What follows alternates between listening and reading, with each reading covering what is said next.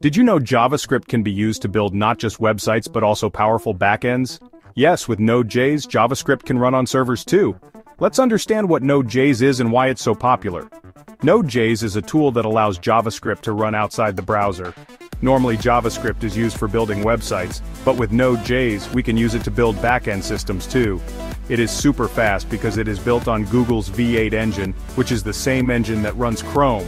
Why is Node.js so popular, fast and efficient? It handles multiple requests at the same time. One language for everything, use JavaScript for both front-end and back-end. Scalable, it is used by big companies like Netflix, Uber and PayPal. Huge support. It has a massive collection of free tools called NPM Node Package Manager.